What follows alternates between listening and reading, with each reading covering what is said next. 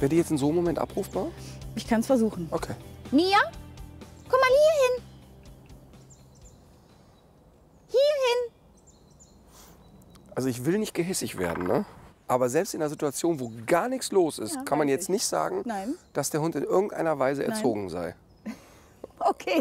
Also da, ist, da ist ja jetzt gar nichts los. Nein, das ist die pure gar nichts. Die guckt weiß. einfach doof in der Gegend Richtig, rum. ja, ja, und selbst auf so eine kurze Distanz ist Abrufen nicht drin. Ne?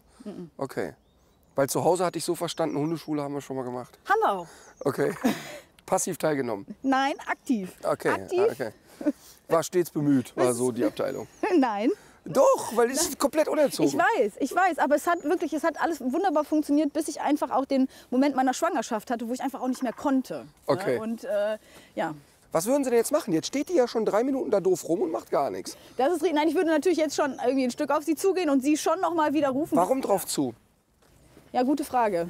Können Sie mir einen Gefallen tun? Einfach einmal weggehen und nichts sagen? Mhm. Ja.